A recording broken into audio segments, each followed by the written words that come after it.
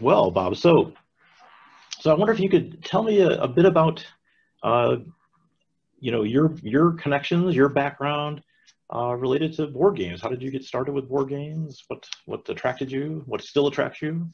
Well, so I always loved games. Um, even when I was a child, uh, I can remember, you know, playing Monopoly with my family. Uh, my family was very much into card games.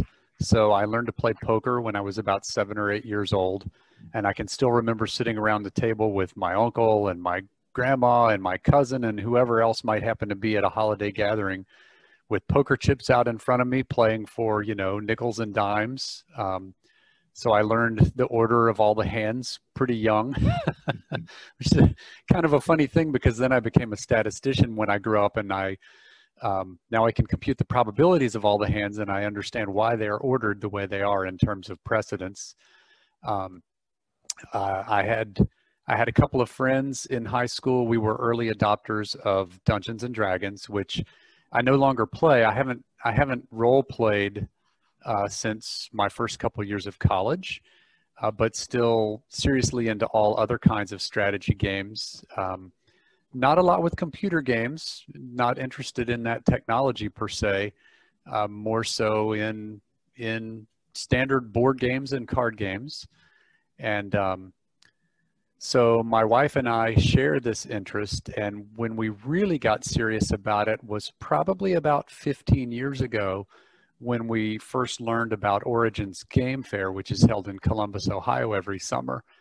And we went and we were kids in a candy store we literally came home with something like 40 new games um, that summer, which was more probably 30 more than we needed because a lot of them sat in the shrink wrap for several years before we took them back and traded them for other games. um, but yeah, I've been interested in games for as long as I can remember. Um, card games, board games, any kind of strategy game. Started playing chess at an early age. Um, it's just a great way to pass the time with friends and and it's it's our primary social outlet at this point. Oh excellent. Well do you do you, do you find uh, you know in your interactions with people that many people share interest in games or do you find that you have to be a bit of a game evangelist or well, how does that well so so a large part of our social circle is now comprised of gamers. And um, there are actually people who are worse junkies than we are, which is saying something because we probably own three to 400 games at this point. Uh, um, some of them are frequently played, some of them are never or rarely played. Um, we, we certainly introduce new people to new games whenever we get a chance.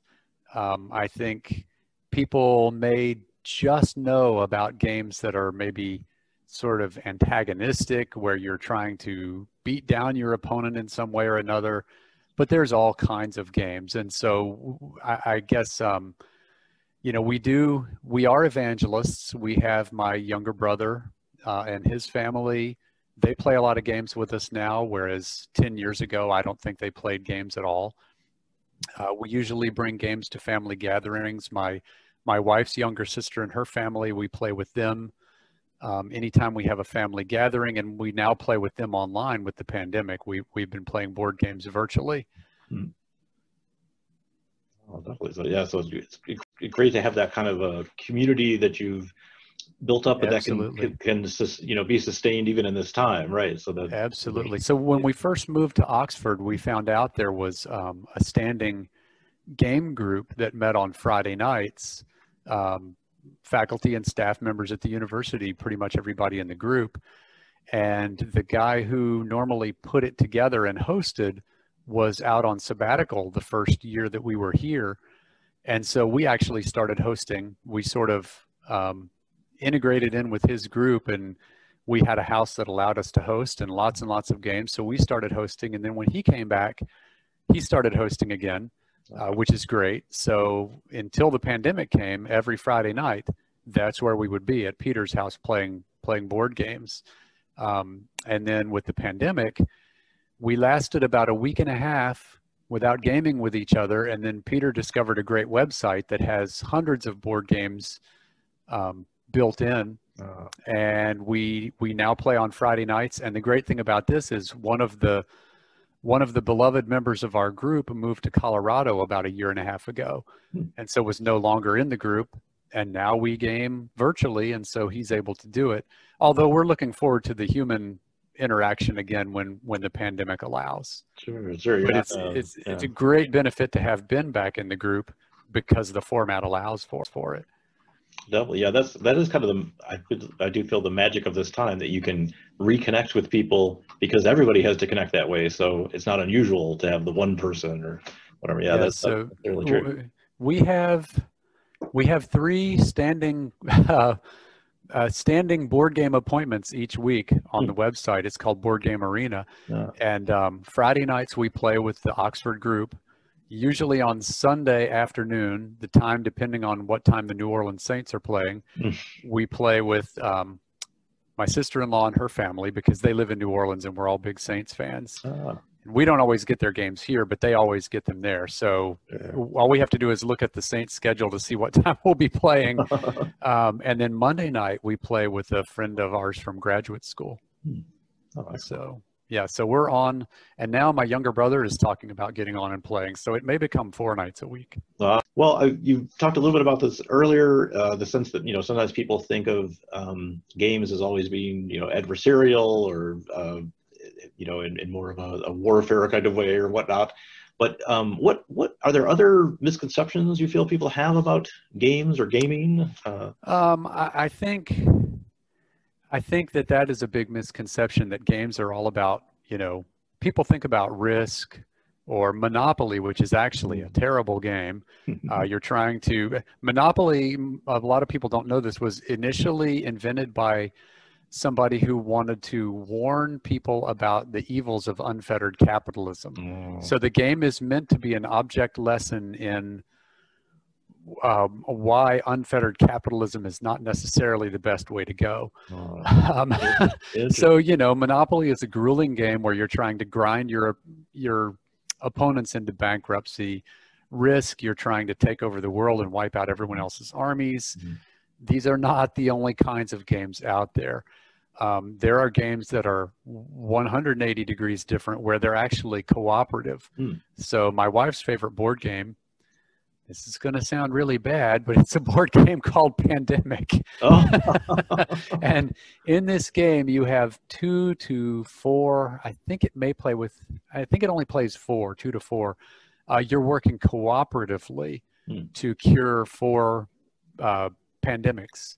And you're moving around the board and, and you're, you're sort of planning out your turns together to make sure oh there's a hot spot in brazil where we need to take out you know we need to make sure we cure the the disease that's there hmm. um, so you're working together and the other interesting thing about that game you know in monopoly and chess and risk everyone has the same objective mm.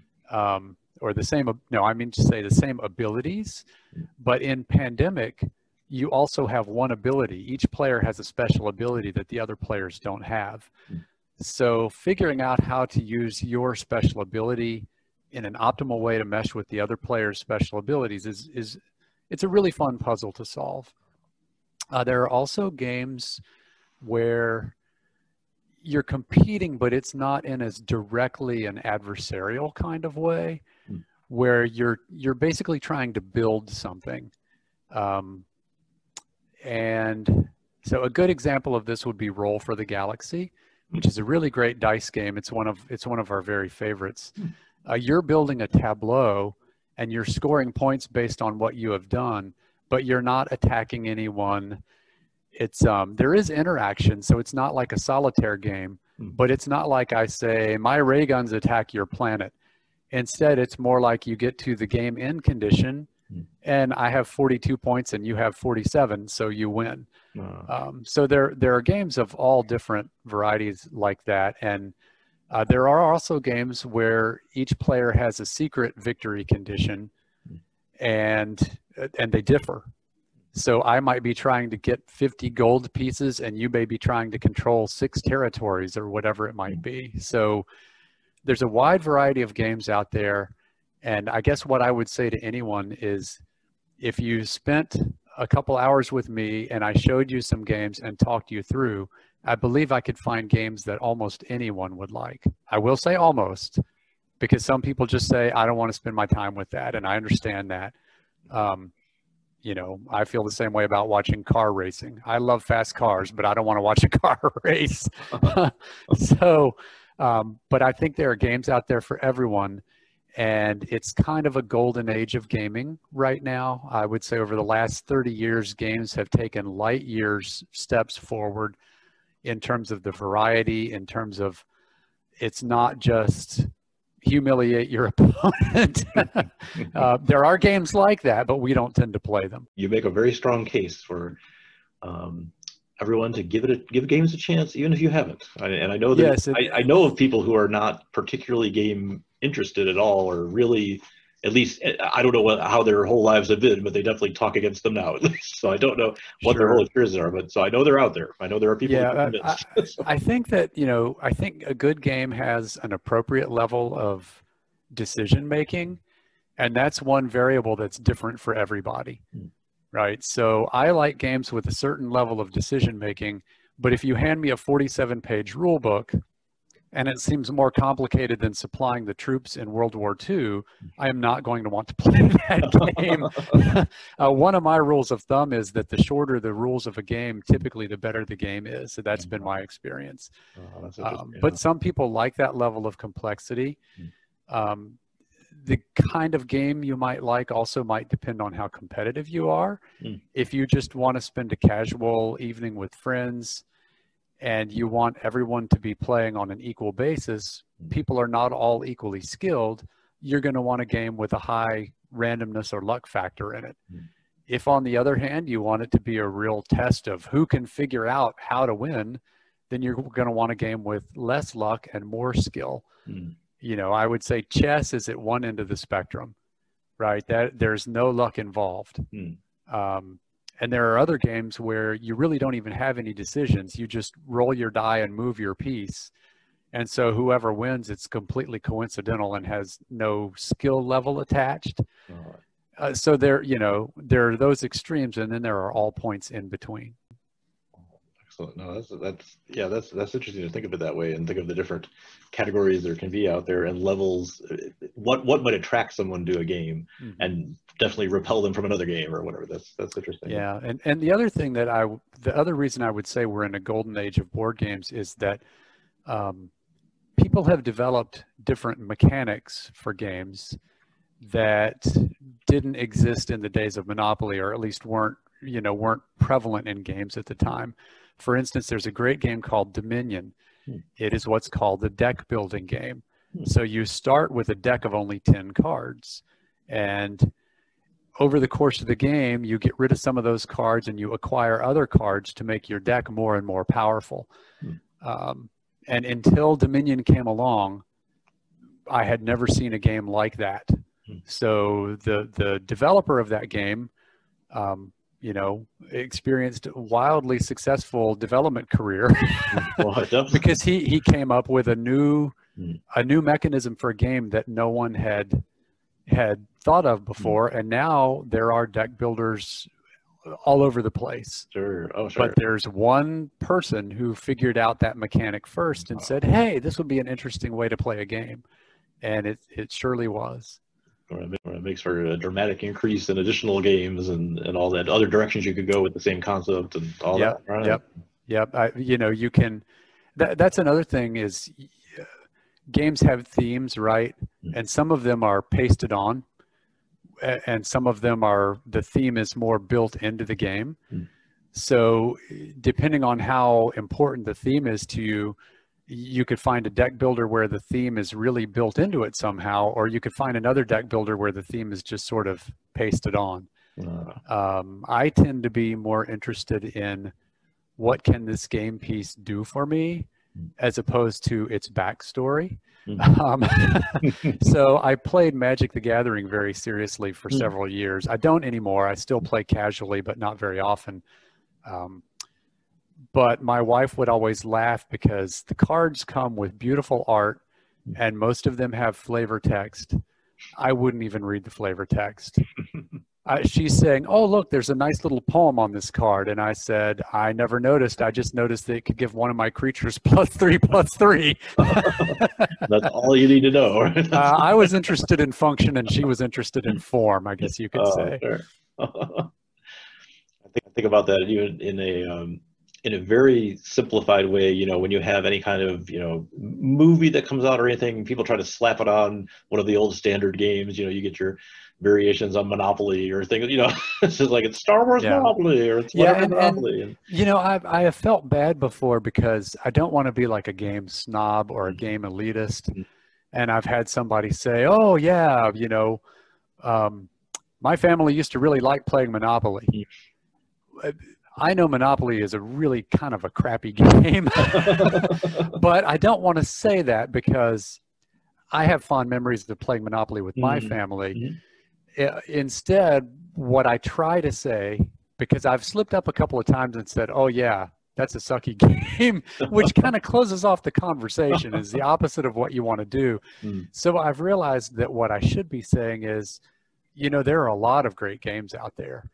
And if you wanted to get together, we could probably show you some new games that you might Mhm. enjoy as much or more than Monopoly. oh, sure. And I, I think the valuable lesson about Monopoly is that, y- yes, it's not a very well designed game, but what it shows you is that a lot of your enjoyment has to do with who you're playing with. Mm. I- I, I would say a bad game with a fun group of people is better than a good game with, um, well, I don't want to say people you don't like because I like everyone, but no. when you go to cons, right, and you play at Origins or Gen Con and you play with random people, Hmm. you can play the same game twice and have a very different experience Hmm. depending on just how fun the group is Oh, sure. um, and it's kind of independent of how good the game is and how um, and whether you win, which is not really, you know, I'm I'm incredibly competitive on a basketball court. Hmm. When I'm playing a board game, I really don't. I'm really not. Uh, Um, you know, I I don't get. I'll I'll complain if the dice don't go my way or whatever, but not any more than the next guy. Whereas on a basketball court, when things go wrong, I am very vocal and very profane and not a very nice person.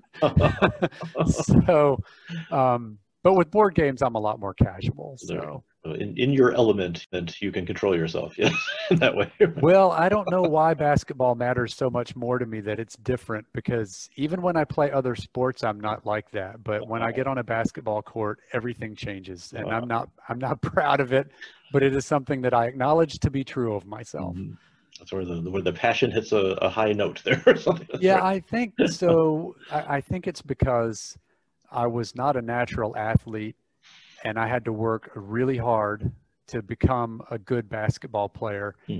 And when things don't, and I don't get mad at my teammates, Hmm. or at least I sometimes I do, but I don't. I don't show that. I get mad at myself. Uh, I sure. throw the ball away. I am going to cuss myself loudly. and I think most people think it's funny. Or yeah, I've had one person say, "I like the intensity." Mm. But sometimes I feel like, geez, what are you, five years old? Can you control yourself? That's the thing. Sometimes we we are so caught up in what we're doing, we we can't stop that. Right, right. Yeah. But at yeah. least, yeah, at least you're not at least you're not throwing the ball around. That's right. Oh, I have occasionally kicked a basketball to the rafters.